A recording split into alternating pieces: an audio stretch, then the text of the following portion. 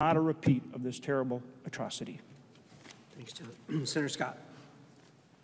In Florida, we've got a lot of, a lot of individuals that uh, have family members uh, in Israel. And we have a lot of people in our state that came from Israel.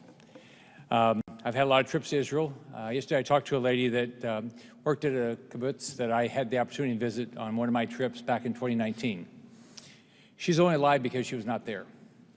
I asked her what happened. She said, the people on my left, the house on my left, the house on my right, almost every house on the street, everybody was shot at gunpoint. She said her sister was in a um, uh, secure shelter, and they were. Uh, she was talking to them, uh, and Hamas was trying to break in. She said kids watch their parents be shot, and they've been kidnapped into Gaza. She said there's. She's seen the pictures of babies mutilated from her village. She'll never be able to go back to her village. She's lost everything. So we're only up here talking because Iran backed Hamas and did all this because they hate Jews. They hate Jews, they hate Israel, they hate America, they hate Americans. That's why we're here.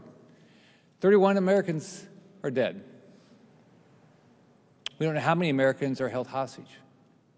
1,400 Israeli Americans and, other, and Europeans are dead. They're dead. I, I want to make sure they get, Iran gets held accountable and Hamas gets held accountable. Hamas needs to be destroyed. Every member of Hamas needs to be murdered, killed. They, they need to be dead, what they did. So, as you've heard, we have a president that appeases uh, Iran. So if you look at some of the video, some of the pictures and some of the videos about the attack, what they have? They had humanitarian aid, first aid kits that Hamas is using. If you look at Israeli TV, you see a whole bunch of pictures of rice um, bags with bullets in it to go to Hamas. But what's our, so this is our money going to Hamas. That's exactly what it is. So today, President Biden announced $100 million more money uh, to aid for Gaza and the West Bank. That's our money. To go while they're holding Americans. They're holding Americans, and we're going to give them money. Just, I mean, would you do that? Who would do that? Who would give someone? They're holding your family hostage. They've killed your family, and we give them money? This is crazy. So I've got a bill.